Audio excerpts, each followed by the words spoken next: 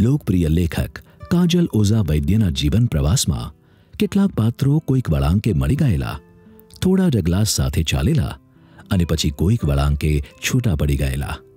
આ પાત્રો સાથેની કેટલીક ક્ષણો, અનુભૂતિઓ અને સંવેદનાઓને કોરા કાગળ પર ઉતારીને સર્જે છે અંગત સ્મૃતિનું એક આલ્બમ. આ આલ્બમ એટલે કાજલ ઓઝા વૈદ્ય લેખિત વાર્તાઓ. આ વાર્તાઓ તેમના જીવનની જિક્સોના નાના નાના ટુકડા છે.